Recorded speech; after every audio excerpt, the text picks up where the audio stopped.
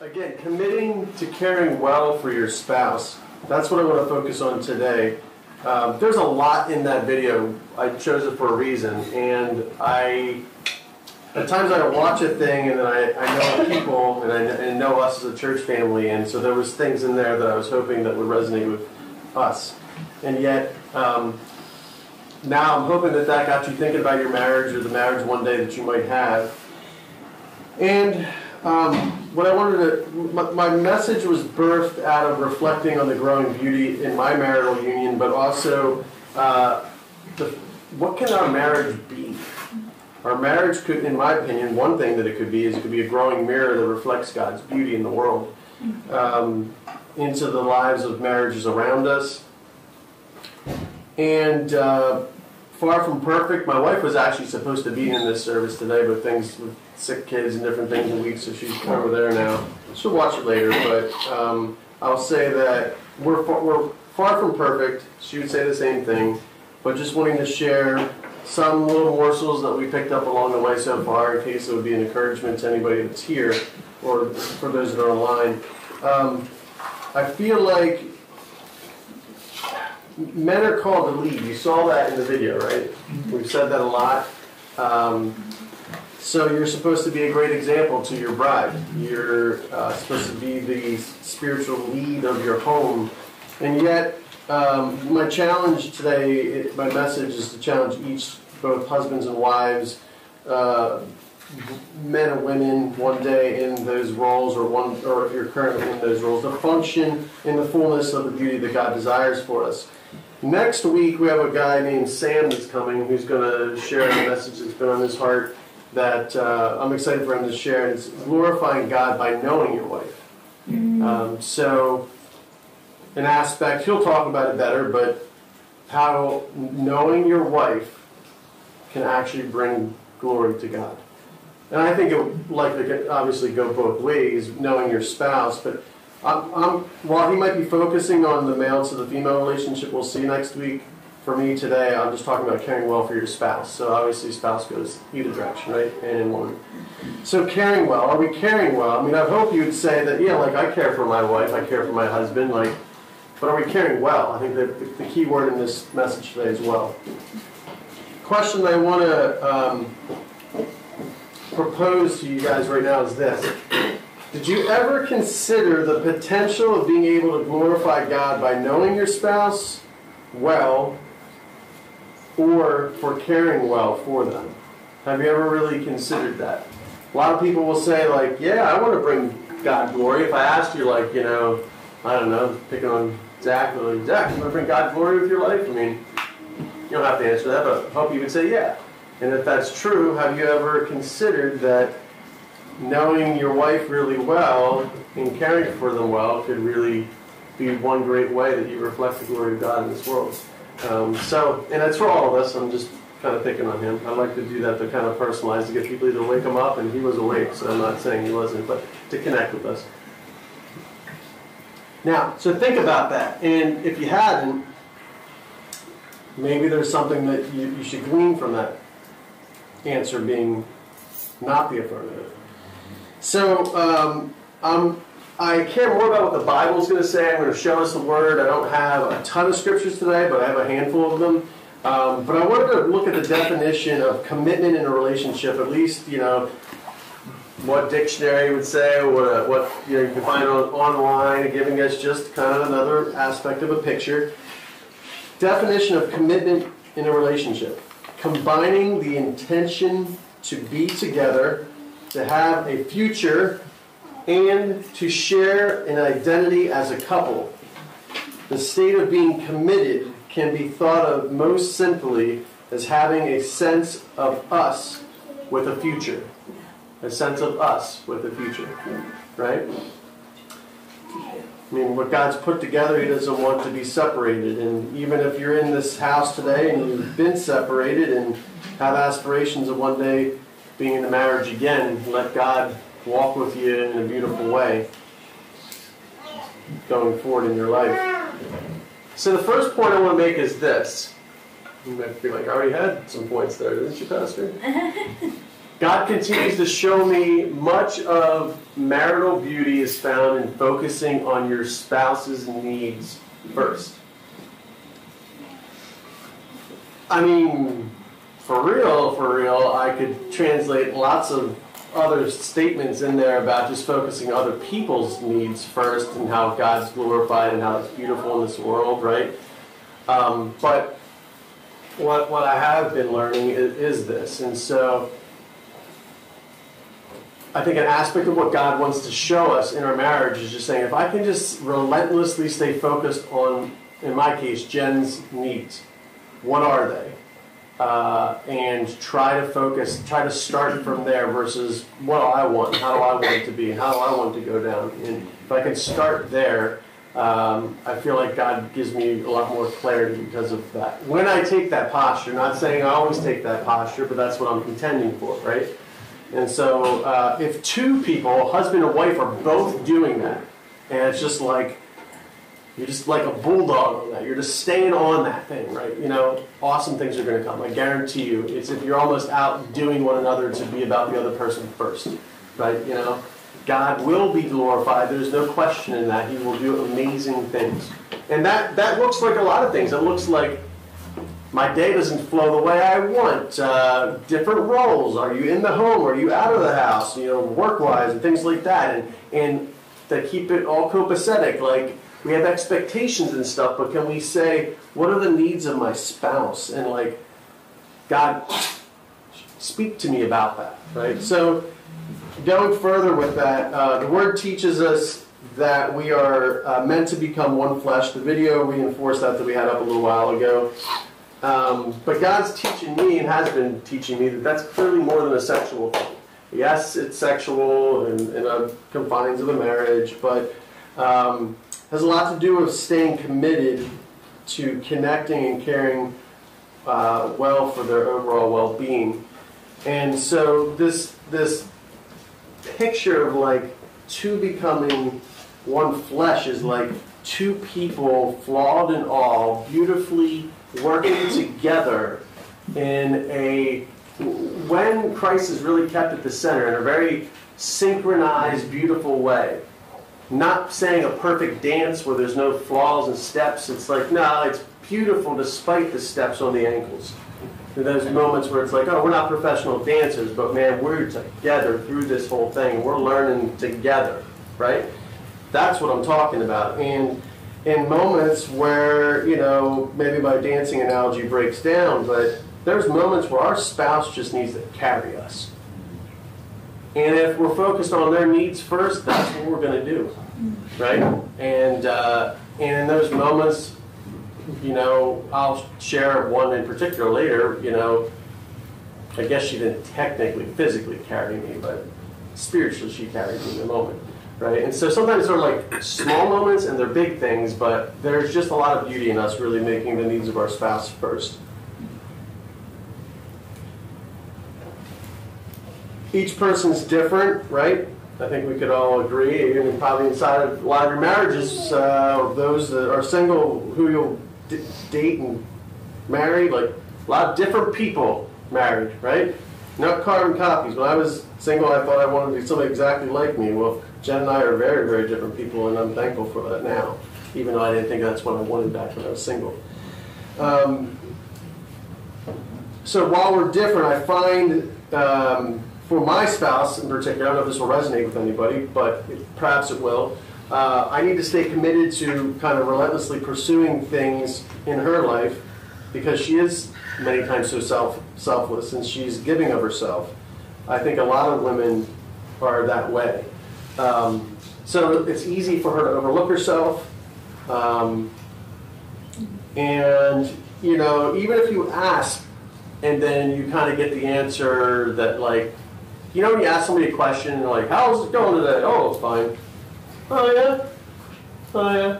Maybe if you ask them six times in a row, you're going to finally get to a real answer, right? And you, maybe you don't just do it like, how are you, how are how are like, but find a way to reach the heart. Like, I believe God will give us discernment through the Holy Spirit where we can understand, is our spouse really okay? And if you know in your heart that they're not, continue to pursue that, right?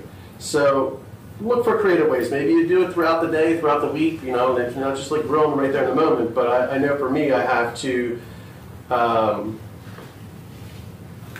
seek peace, a moment of peace where I, I either am affirmed that she truly is okay, or that I continue to gently apply pressure until I can see her be benefited by opening up, right? Um, again, it can look like it can look like a lot of different things. Uh, you know, you could ask for a task that you can help them with periodically, um, where you can maybe sense they're overwhelmed. Um, and for us, you know, four little kids, you know, one the infant, special needs, we've got lots of roles and things on our plates and stuff like that. And there's, you know, she's super strong, but there's moments where, like, you know, I'm like, okay, like, and you know, your spouse, you should be able to be a safe place, and they can just vent and say things, and it's like, all right, but I'm here and receiving, and like, you don't need me to fix anything, but like, but something's not okay, and so like, I gotta care about that, right? And so, uh, can I can I ask how I can help? What can I do?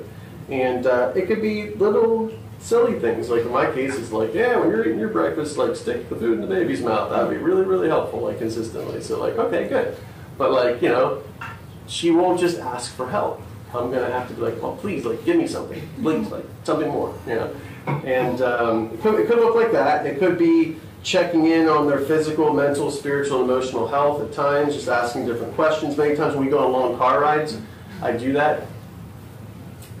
I think she'll tell you she appreciates it, even though sometimes it probably drives her nuts.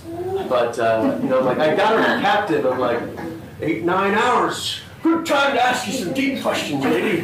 You know, and so so I go for it, but I'm but I know when I can get her in a different state of mind, and so probably like oh frantic, getting ready to go away, but now we're in the car and like decompress and like all right now I'm, you're in a place where I you'll hear something more than what I'm asking. So look for things like that. Know your spouse.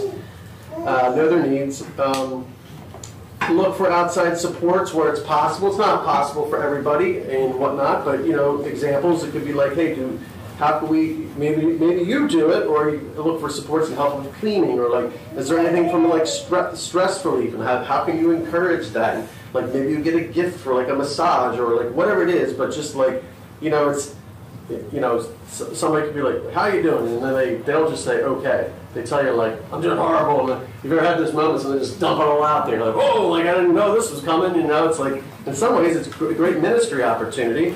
Well, if it's if it's your spouse, or or if not, I hope you wouldn't be like, "Well, um, be well," like. You know, like do something, like help them, right? You know. So uh, again, look at that, and you know, guys, we're a little slow sometimes, so, you know, make sure what we're doing is actually a help versus something we think is a help that's not a help. Um, in fairness, our wives won't always won't always give us an honest answer on that, but check in on the things that you're doing to make sure they're really benefiting them. Uh, so these are just examples, right? But I also uh, think it's it's things like uh, encouraging people to have uh, supportive time in their lives, time away with friends. Uh, so, you know, we have the ladies gathering, we have the guys time out, and all that. it's still so weird to say. Anyways, um, so we have these things inside of the church context, but even beyond the church context. And actually, one thing uh, I'm confident Pastor Ryan would say the same thing. You know, if we just like hear you guys are like hanging out together and just like doing life together and building relationships with one another, that is super encouraging to us. Right? I'm not saying husband and wife, that is good too. I'm talking about just people inside the church here. Like, you know, and so, but it takes effort to build those relationships. So let's build them, right? That's part of what the church is supposed to be. Not this church, but the church in general, right? So, uh, time away with friends, though. Part, we all need a village. I don't know if you've heard that before. We all need a village. Basically, supports, and a lot of that is people in our lives. Some people are very rugged individuals. I got it. I don't know. Self-made man or woman, you know, kind of whatever. Kind of picture like, no, they're tough as nails type. Like I'm a farmer or whatever. Like I don't know. Like just they are strong. They they don't need much. They can make things happen. But you know, the reality is we all need people. We do. And if you believe in something different, you're lying to yourself. So for women, it's you know powerful female relationships with men, one-on-one men, male relationships, and encouraging each other to make sure we're consistently building those things.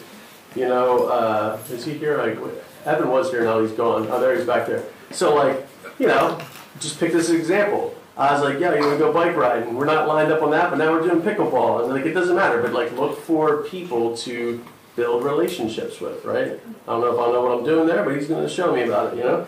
So, uh, what I'm what I'm sharing to you, I'm trying to model too, and I'm just trying to encourage you guys in that. Um, but we all have busy lives, and so it's going to require us, you know, stepping out and, and putting our hand out there and trying to consistently do that to, to connect with people. Uh, it can also, I, I, think, a point, I think many people long for deep, meaningful relationships. I don't know if you're sitting here today and, and that's, that's you, but if it's true, um, I would say few of us, most, many of us would say that, yeah. I mean, if I, if I surveyed you now and said, like, how many people in here want like really crappy relationships with really like surface level and people that don't care about you? Versus deep and meaningful relationships with people that really know you that are there for you. Obviously, I think we know how people would generally answer that question, right? So, that being said, it's like, all right, few people are willing to put their hearts out there or be a consistent, proactive initiator of these relationships. Um, not saying Evan wouldn't have tried to do something with me sometime, but I just said basically, bro, I ain't waiting for you. I'm gonna come, right? And so, but I think as we do that, uh, and I actually a challenge when I, when I was single, that was easier to do. I felt like for some reason, I don't know why. Probably different dynamic now with like family life and stuff, and all the different new roles that I have in that. But uh, didn't change what I desired when I was single, what I desire as a married man and a pastor and father and husband hasn't changed. We need a village. And it never will change. Doesn't matter how many gray hairs I get when I'm fully gray and all that. But yeah, we need this. So what are we doing about it? Few of us are willing to do stuff about that. Um, as a spouse, because we have busy lives, right? And I know at times, even when I try to encourage my wife, and it's like, oh, where's this going to fit in? And I'm kind of like, yeah, but you need it. It's like I'm like, hey Tiffany, you know, just stop breathing for a while. Like you need air, you need it through your lungs, so keep breathing, right? I'm never gonna tell you stop breathing. There's things that we need, but uh, we are created in God's image, the Trinity of God, a relationship, a beautiful picture. We are meant for a relationship. We're not meant for less than that. Um, so, as a spouse, we're meant to be a cheerleader, I believe, for one another. And how do you do that? So you can support them and say, hey, you like need to go have this time with with people, right? That you value, that you're pursuing, whatever it is, fill in blank. But then how can I orient my calendar to support you so you can go do that, right? For me, it looks like, all right, I got the baby with medical needs, and like, you know, I'm definitely the backup guy. Like, I love her with all my heart. My wife is super equipped with for Joanna with all her medical stuff, and I'm learning more. And you know, she's I think safe when Jen goes away and stuff, right? But it's just kind of like, you know, easily the first time that happened, I was like, oh, how's this going to be? But like, Jen needed to go, so I'm like, get the heck out of here, right? And uh, we just need to do this in our lives and and put remove the barriers from your spouse so they don't have them, so you can allow them to be blessed in that. Because I one thing she'll say, and uh, I'm confident she's not the only person here that would say this. It's like, well, and she's introverted too. So if anybody's in here that's introverted, or people that, yeah, like, I guess let's just say internal processor types too, like it's like wow, like the amount of energy needed sometimes to be around a lot of people. It's just like after it's like, oh, I need to like detox, or like I need me time or something or whatever. And I hear that, and I'm like, I, I do need me time, but like differently. and I'm more extroverted, so like I don't relate to it as much, but I do understand the, the reality of what she's communicating. And yet she will tell me many times, almost always, when she goes, it's like, oh, that was good. And I'm like, yes, because you need it right? And, and so uh, we can be our spouse's cheerleaders, and I think we should. Um, and you can uh, also basically just again look at their needs and, and say, hey, like if you had unexpected margin in your schedule, honestly, I did a really bad job of this yesterday. I wasn't a complete epic fail, but example. So uh, we were supposed to have soccer practice yesterday, kind of like an early kickoff the season thing. And uh, it was raining, and I'm, I'm usually a gamer, but I told all the parents, I'm like, hey, we're shutting it down, you know. Probably good. It was like 40 degrees and raining all day. Shelly's actually would have been there because her son's on our team. But I was like, nah. But in that moment, um, and I made moments to connect with her later in the day, for sure. But when you have extra margin, can you first go to them and say, hey, like, what do you need today?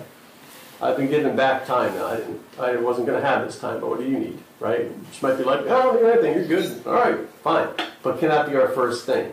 And I'm learning the power in that, even though I would say yesterday I probably could have done better in that. But just you know, a practical thing. How can I help you today? Um, I think even just for us to know that like there's support there. Like maybe the answer in that moment is I'm actually fine. But then later in the day I might need, and maybe they'll actually come down and ask you for recognizing that. So couple scriptures as it relates to this point. You can look at uh, the book of Mark, chapter 10, verse 7 and 9. If anybody needs a Bible, you put your hand up, can get you one. If you have a Bible, good, open it up. You have a phone, the Bible, that works too. And sometimes I have a ton of scriptures today, only a handful, but uh, definitely never want my message to be, you know, uh, Pastor Joeisms alone. I want it to be anchored in the Word of God. Mark 10, 7 to 9. I'm going to read in two different translations, as you can see there. So, first, NLT. So, Mark 10, 7 to 9 says, This explains why a man leaves his mother, I'm sorry, his father and mother, and is joined to his wife, and the two are united into one, since they are no longer two but one. Let no one split apart what God has joined together. And then Amplified takes a little bit of rubber band, stretches it, and says, For the reason a man shall for, for this reason a man shall leave his father and his mother to establish a home with his wife together. They're doing it together, right? And the two shall become one flesh, so they are no they are no longer two, but are united as one flesh. Therefore, what God has united and joined together, man must not separate by divorce. So, looking at that, I'll actually come back to them. Let's just keep going with Philippians, Philippians 2, 3 to 8, and then I'll come, come backwards.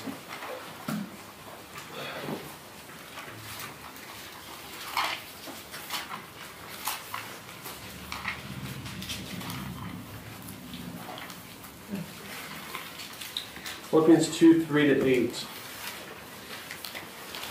reads as follows Don't be selfish. Don't try to impress others. Be humble, thinking of yourselves as thinking as others, I'm sorry, as better than yourselves. Don't look out only for your interests, but take an interest in others too. You must have the same attitude that Christ Jesus had. Though he was God, he did not think of equality with God as something to cling to. Instead, he gave up his divine privileges he took the humble position of a slave and was born as a human being. When he appeared in human form, he humbled himself in obedience to God and died a criminal's death on the cross. In those verses, again, back to my point, basically focusing the beauty that could come in marriage, focusing on the needs of your spouse first, right? Um, in in in Mark, I, I, I, said this before, but you know, so this I think the the two becoming one. The video is talking about the concept of cleaving. Uh, goes well beyond anything in terms of just pure physical or sexual connection. It's it's uh, I believe God desiring two people to live, to bless, to help, to sacrifice for one another and to do it well. And then when we look at this Philippians passage, 2, 3 to 8, I mean, there's so many things in this, and we were starting to talk about this during Growth Wednesday uh, this past week, but just a lot of things in there. If you read a passage, but then you just like strip each little part of it and almost make a list and look at each one of these things and say, like, okay, like, there's lots of tasty morsels in here. Like, how can I apply this to my life? Don't be selfish. These are things in our relationships that we should try to make true, that we wouldn't be selfish. That we shouldn't be trying to impress others. You know, don't don't love care for your wife well to get recognition of other people. Just do it to glorify God. Be humble. One aspect of what the word's teaching us in terms of that would be to think of others better than yourselves. So again, you know, I think it's echoing. Focus on the needs of your spouse first, right? That's only one application, but it's a, it's an application. Um, and then look at the life of Jesus. I mean, he wants us to live with the attitude like he had. I mean, he, he had equality with our Heavenly Father, but he didn't cling to it. He laid it down. He was obedient to the Father. Instead, he gave, his, gave up his divine privileges and took on the humble position of a slave and was born as a human, fully man and fully God. And he humbled himself in obedience to God. And so that should be our motivator to uh, commit to caring well for our spouse, is just to walk in humility before, before our God. That should be the reason. Another point that I want to make is this. So, if you can grow in your ability to really be present and listen, God will show you His glory even more. I'm not good at this by default. I'm not. But I'm just telling you what He's teaching me. So maybe I'm preaching to somebody else here. Some of you are great listeners. So for that, I applaud you and I'm jealous in some ways. But uh, if we really grow in our ability, so like the Holy Spirit dwells within the, the believer, we can all grow. Are you going to become a completely different person with every aspect of how God's created you like go away? Now, like there's just our DNA, and how God's made us, and all these things. And some people are stronger and weaker, different things. But uh, we can all grow in, in our ability to, I believe, be present and to listen well. And when you do, God will show you His glory even more. And so, like, you know, there are moments in scriptures, you know, they go up the mountain, you know, show me your glory, God. We've never had that moment, but like, wow, if that was me, like that would have been amazing, right? But God shows us His glory in different ways. He doesn't need to like have like us shimmering and like like radiant light and stuff as Moses experienced, but. Um, an aspect that I've seen is just being present with Jen and listening well. And it's, again, we're talking about marriage, so I really want to focus on that, but this applies everywhere. With any relationship in your life right now, if you really are present and you really listen, awesome things will happen. God will show you His glory in those in those moments. So, again, I said I'm not good. Left to my own natural instincts, I'm not good at uh, li- listening. I'd be quick to talk. I'd be quick to do things. I'd be quick to take action. In and of those things, they're not always bad. You know, we're in a spot where like nobody says anything, or like well, the person speaks first. Like that's kind of helpful sometimes, right? But really, the point here is like focusing on being present and listening to the other person. So God's teaching me when I'm able to, when I'm able to do that, there's immense power that can be harnessed when you really listen to your spouse and you're present with them. So I have three testimonies. Three testimonies. I'm going to give you three examples. So I don't just like say stuff, but even like in our journey group this morning, I tried to have moments where you know, like I just open my life up and be like, here's some real stuff, and like kind of relate to people. So hopefully, these are moments where somebody in here can relate. But I believe that God's teaching me that He desires us to model, model being vulnerable in one another's safe place.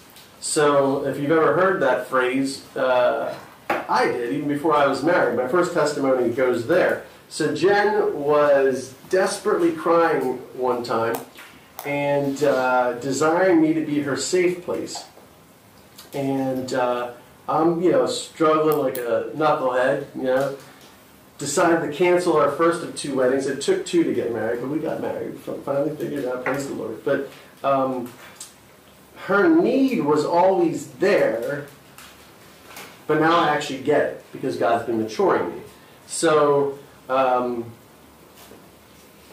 I see how even in my failure in that place, basically she was com- communicating like, I need, I want to be able to be vulnerable with you and to be able to trust you. God took my failure, my epic failure of the past, and as He's maturing me, He's using it for good. The Word teaches us this. He'll take all things and use them together for the good of those who love Him and are called according to His purpose. And so, I would just challenge you today anything that you've failed in, if you trust God and if you repent and if you go before the Lord, He can take it and use it for good in your life going forward. And that's what He would desire. He doesn't want you to look back and be like, I'm a moron. He's like, let's go. Let me take you where I want to take you.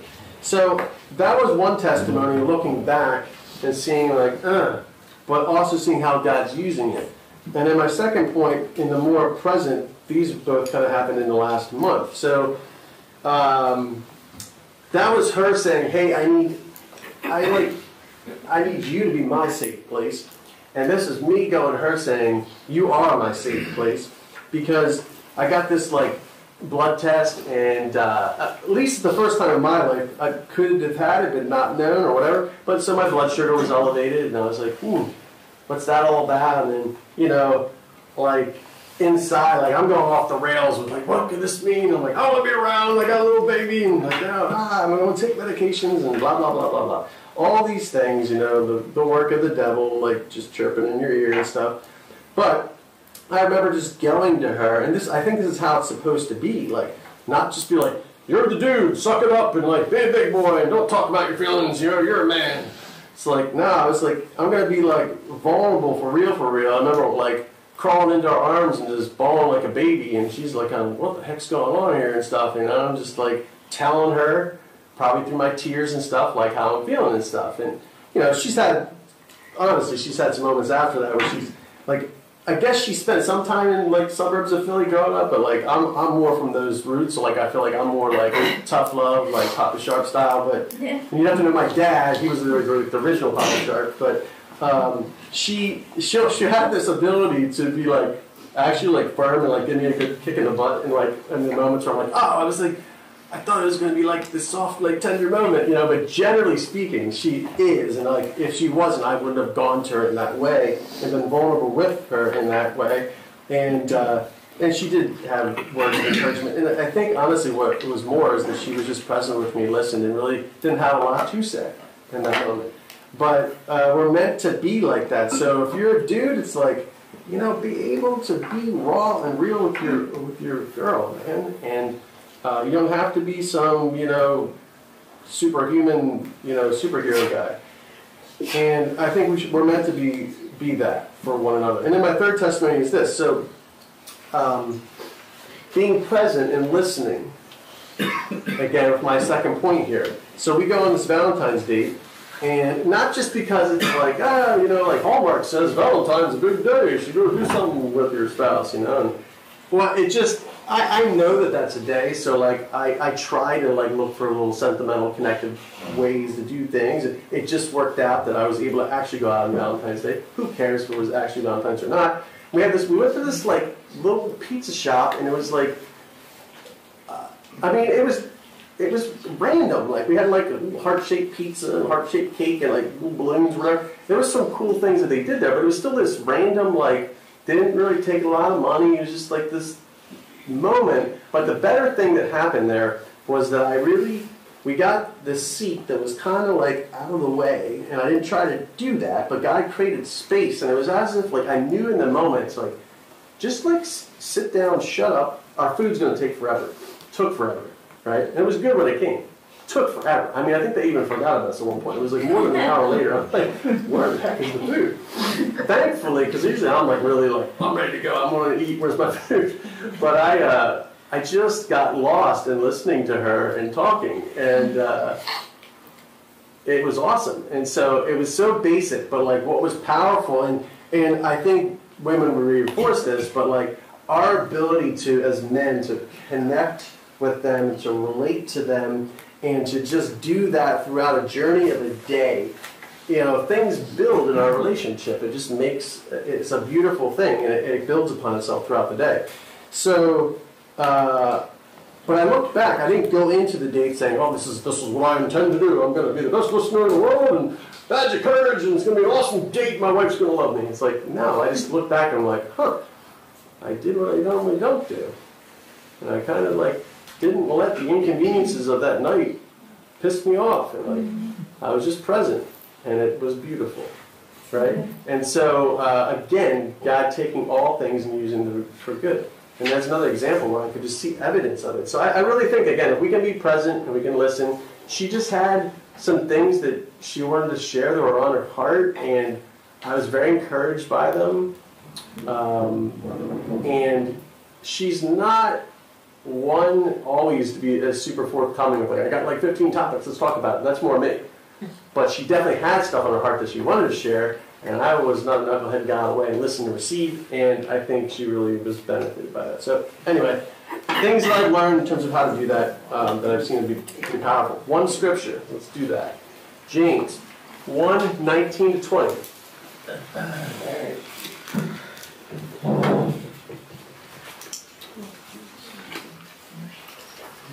And we even have a James in here, so does it feel to be like that, like scripture named after you and stuff, man? It's pretty cool.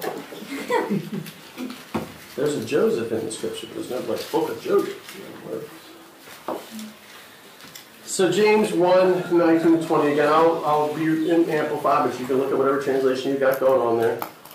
Understand this, my beloved brothers and sisters. Let everyone be quick to hear, be a careful, thoughtful listener, slow to speak, a speaker of carefully chosen words, and slow to anger, patient, reflective, forgiving.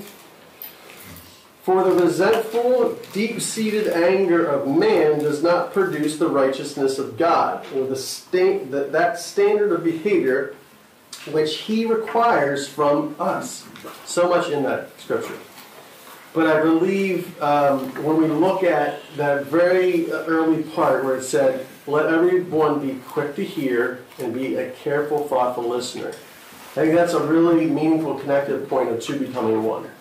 Um, what, what does that mean to, to become one? Again, like I said, it goes beyond the physical connection. It, it's, it's what I experienced on that date. Be a careful, thoughtful listener. And God's telling us that's what He wants us to be. And we can't we can't go wrong by embracing His Word. When we embrace His Word and apply it to our lives, I guarantee you 100% that you will be blessed. Right?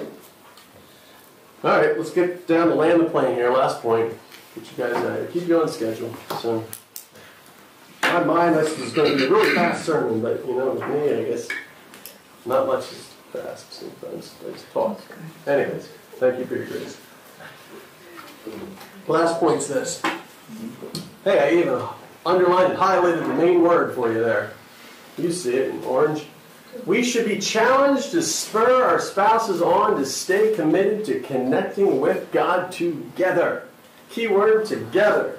There's different ways to do that, and I'm not saying that you shouldn't connect with God individually. You should do that too. But I believe committing to caring well for your spouse is saying, hey, like we should like spur one another on to be committed to connecting with God together. Can we do that? Can we do that? What does that look like? I don't know. Like let's let's talk about what that could look like. So I think it's it's easy for us, uh, I find, as adults in a marriage to get pretty lazy. Um, well, I mean, you're not a marriage, you can get lazy, but certainly you can get lazy there. You get used to one another, and it just is what it is, I guess, at times. But don't let it stay there. You know, I know we have seasons, uh, things get more difficult and whatnot, um, and, I, and I don't care because I'm a pastor. I'm no better than anybody in this place, right? Let's just say that for what it is. Um, but again, men are, men are meant to lead, and yet both spouses are meant to love well and grow in this over their, the course of their marriage. Especially if you stay together until death does you apart, which was the vows that you had, right? Um, so, both of us are meant to do this well. Uh, I, I believe that Holy Spirit has been teaching me that we need one another's spurring on in love to encourage us to do this. So, encourage us to do what? Encouraging us both to connect together with God. How can we create space to connect together with God? Christ at the center. And staying committed to that, saying, you know, this should increase, this should not decrease, this should increase. Um, not because it's a Christian, do good, check a box, you know, collect two dollars, pass go, all that. No. What I'm saying is that it's it's something that is for our benefit. And when you have Christ at the center of everything in your life, you will have no better place. You'll be no greater supported than in that place. And at times, like I said, you need your spouse to carry you, to pick you up, to be your safe place, to fall into their arms, whatever it is, but staying committed to connecting with Christ in the center. So, um, some uh, picture what some of those things could look like. So, I think um, there, there is there's power in making this a priority. Um, and if you're saying like, well, yeah, like pastor, that's me. Like, I want to do that. Let me do that. I want to, I want to do that in my marriage. Well, then, you know, there should be, uh, you need to discern the right time of the day, uh, be consistent about creating a way to remind your spouse to make it a priority, to pray together regularly. But, like, find the space that you can do where it's not just like, all right, get on with this, be done with this. Like, some, some of us as Christians can just be like, you know, doing that. Like, check, check, check, check, check. All right, I did my thing. I'm going to show up at church. Boom, I'm out of here. But like no, like a space where it's like when can we both do this so we can actually just be present and do this together, right? In a meaningful way. Find what that looks like. You know the rhythm of your house. Look for that. Mm-hmm. And then if you're the man, I would challenge you, even though it's beautiful when the wife can come help us, it's like you pursue her and be like, we need to do this. When can we do this? And try to make a recommendation, but then, you know, but but stay on it. Like for, for me it's usually in the morning, early in the morning. But like but there's times no different than yesterday. It's like I found her later in the day. It's like, you know, it was bothering me that, that we didn't do it in, in the morning. But we need to be committed in this. And not just because I'm going to share this message, but I'm I can be lazy. We can be lazy, but we shouldn't be, right? And then you're asking one another, like, hey, how did that thing, that thing we prayed about, like, what happened? You know, it's like, but now she's, we're connecting about things that we never would have connected about if we didn't actually spend that time together, right? There's power in that unity. That's part of that oneness to becoming one, where it's like, yeah, we have, two, I mean, two different lives. Your hearts are both beating and you're both breathing oxygen, you're both alive and whatnot, but you're really one functioning through this journey of life together. That is part of the mystery of marriage that's just the beauty that God wants us to have that I'm starting to understand as the years pass in my marriage. You could uh, draw your kids into it. And if you're just by yourself as a couple, all good. But then you have no distractions, less excuses. But we have a prayer box in, in our kitchen. It's like little prayers that we put in there. And then we have a little journal we write down every time God's answered one. And so, you know, hold hands together and let's pray for them. We'll all go in and pick one out and we like each pray for a different thing. And come up with your own way to do it. I don't know, but like trying to show the kids that we're trying to um, not just be good Christians, but that there's power in prayer. And God answers prayers. He's a God who has and will always be there with us and for us. And so that the kids can understand that for themselves. But another connective moment with my wife, right? And with the kids, which makes it even more interesting in some ways. Uh, again, men should be leading and investing in, into the marriage. Don't wait for your wife to do it. I think it's cool when spouses come on with ideas of like, well, when Jen has an idea for me, I love it. She'll randomly, she's gotten better at it. She'll send me different things, and I'll put it in my little list of ideas of what we're going to do, dates or whatever, you know, all sorts of things. But um, men are supposed to lead. So just keep investing in your marriage. You know, it could be like, hey, uh, you know, I want to make sure that we, we have, uh, um, coming up with ideas and maybe even playfully together, we're collaborating on some ideas of how we can go have fun together. But, you know, it doesn't always work out. Life happens. You know, Joshua broke his arm two weeks ago. We were supposed to go away to Spruce Lake for this thing that we had planned, and we're both super looking forward to everything was ready to go. Car was ready to go. We didn't go, right? But I'm still investing in the marriage, and I, I ain't going to let something like that stop it, right? So uh, we, we were able to be there with just our one child and have a meaningful connection in the hospital with him. So God can shift things, but just be consistent. Look at how can I have consistent times away with my spouse? Could be marriage conferences, could be spiritual retreats, um, shameless plug, Weekend to Remember. If you've done it and you've been blessed by it, maybe you do it again. Uh, if you've never gone there, weekendremember.com, great uh, thing to do. Jen and I have done it. It's a great structure to a weekend to, be blessed in marriage. Uh, maybe, you know, we did it in the past year, a renewal of your vows. Don't need to make a big ceremony or whatever, but could be anything. dating regularly, planning dates uh, ahead, being intentional with it, like really thoughtful. Uh, didn't realize this, uh, so she told me after the last date. She was like, "Oh, you just checked off something off my bucket list." Now, for real, I actually had this list, and I'm like, "Okay, well, I don't think this was actually on the list." But there was there was other things on the list that she didn't put on my list. But anyway, it, she, we did a sushi class and just how to learn how to make your own sushi and stuff and uh, at a culinary school. And she was just like, that was awesome. And I'm like, it was kind of neat. I, I wasn't too good at it, but it tasted all right. Weird thing, if you've never actually made it, you gotta wash your rice for a really long time, like super long time. That's the key. Wash your rice. Anyways, but uh, yeah, so just she would have never said something like that if I wasn't modeling some of these things I'm describing, where it's like that's what it's meant to be. Like, go through the journey of life and have fun together and play together and figure out what that is. And sometimes you get it right, you know, like I did there. I always mess it up. So anyhow, a couple scriptures. Pastor Ryan, then, if you don't mind, maybe lead us in the song and kick us out of here. But a couple more scriptures, just as here. no, no. Two scriptures, Matthew 18, 20, and then Luke 12, 35.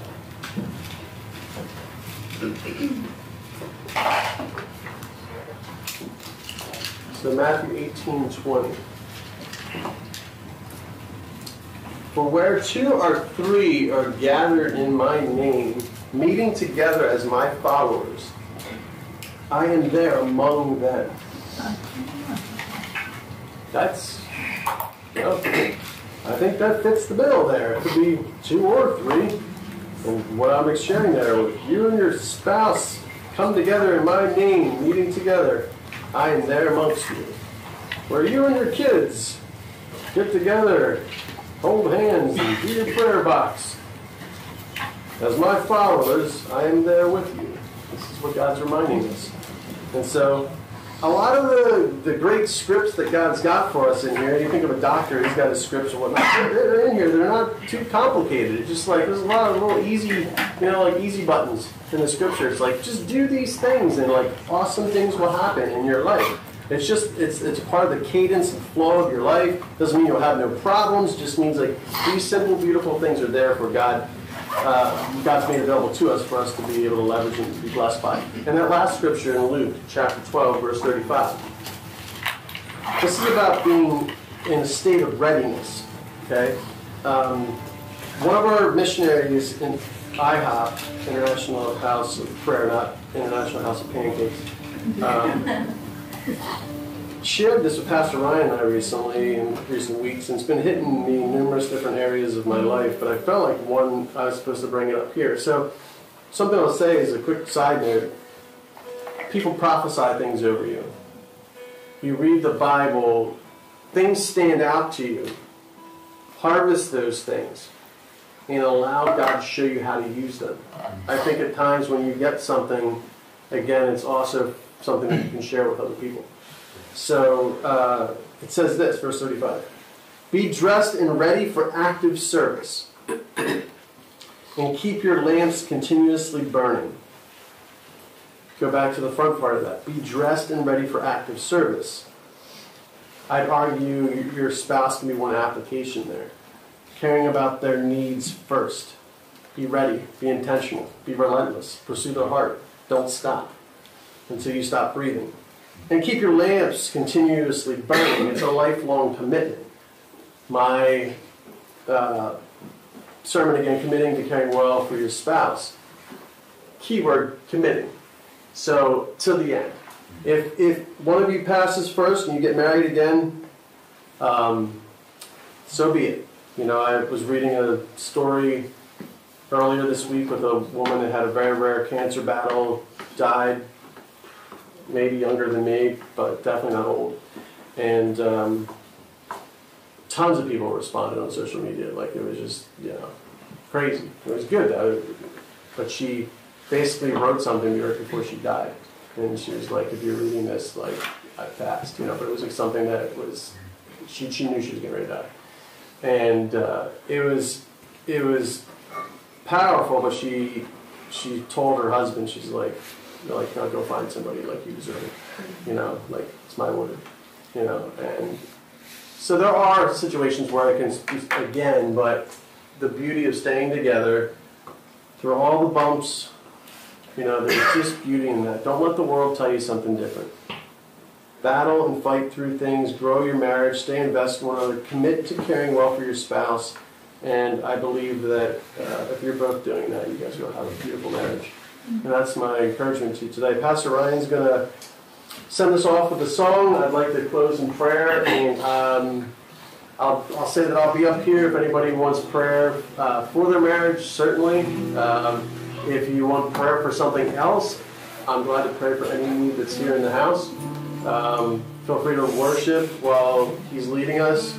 Yeah, if you've got to go, we get it. Don't forget your kids. But um, we love you guys and we appreciate you being with us. But it's good. Let's let's pray. Father God, thank you that you you were committed to us. You're the one who came first for us. You knew your mission and you finished strong. You fulfilled every single thing that you were meant to fulfill. Every prophecy spoken over you, you fulfilled. And we worship you now. One way that we have the opportunity to worship you is through the covenant of marriage. And for each husband and wife that's in this house, I ask that you would spark something fresh within them a passion to chase after their spouse with greater fervor, that you would be glorified, my God. I ask that you would give them a passion that shows them that the commitment that they have to their spouse reflects your glory in this world. And I pray that you put other marriages in their path, God, that they can sow into. I pray that you put single people in their path that are not married but one day will be, and that they would help them to invest into their lives, to contend for the beauty that we have been speaking about in this time we've shared. I ask, God, that no weapon formed against any marriage in this house would prosper in the mighty name of Jesus. I ask that the things that are the hard place moments in these marriages now, the things that we struggle with, where we will be selfish and we will not focus on the other person. I ask that you help us to unload our weapons, that we would lay them down, that there would be no place to talk poorly of our spouse, but that we would lift them up, that you would be glorified, God. Show us how to do this. And God, when we struggle, May we allow powerful relationships around us to invest into us, to encourage us, to spur us on, God. We need these relationships. Help us to cultivate these relationships, God. Help us to have no place where we make excuses why we don't have them or why we can't have them. Help us first to focus on how we can be them for other people. And I believe by faith that you will give them to us. And they will benefit our marriages, they will benefit our relationships. I pray, God, that you would give us a passion, Jesus, to keep you at the center of all things. Not just so our children can say that that's what they've been taught, but we are thankful for that. But God, that we would show the upcoming generation what a God ordained marriage is meant to be in this present age. We reject every high minded nonsense that's prevailing in our society that speaks against this. You are God who does not change. You are the same today and forevermore. And may we honor you by how we honor one another in the marriage that you have given us, and that one day you will give those that are yet to be married. I ask your blessing upon each person here in Jesus' name.